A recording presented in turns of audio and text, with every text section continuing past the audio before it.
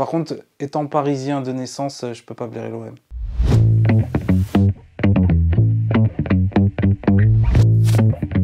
Ma date de naissance, c'est le 27 11 1985 et mon lieu de naissance, c'est Villiers-le-Bel, dans le 95.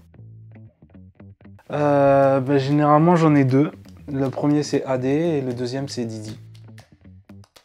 Chez Perlenco, je suis développeur. Ça consiste à maintenir euh, en place euh, le site internet et apporter des modifications quand il y a des modifications à y apporter. Et puis euh, toutes les petites fonctionnalités que vous pouvez voir à droite à gauche.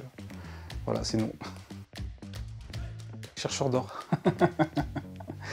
Pas du tout la, la, même chose. En fait, l'informatique, c'est venu bien après, la passion des jeux vidéo assez dissipé. L'élève au fond de la classe, c'est moi. Le genre d'élève qui, euh, ouais, qui, écoute euh, d'une oreille, qui fait un truc de l'autre, et puis, et puis ça passe. quoi. Grande qualité, euh, je pense que je suis altruiste. À mon côté râleur. Ça dépend. En fait, ça dépend le projet, ça dépend le contexte. Euh, trop de télétravail, c'est un peu trop contraignant aussi. Moi, j'aime bien voir du monde, j'aime bien, bien que ça bouge un peu, donc euh, ça dépend. Qu'est-ce que je vais encore avoir à faire? Ah, le, le, thé, obligé. Parce que le café, non, c'est pas possible. Quand tout marche, qu'on n'a pas de problème, et qu'on voit des sourires un peu en disant voilà, là, il y a un petit truc, euh, c'est parfait.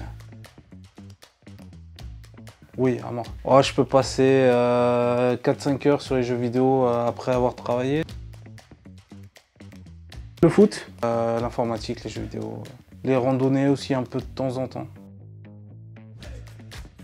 Ah, ni l'un ni l'autre. Les deux sont, sont pas terribles.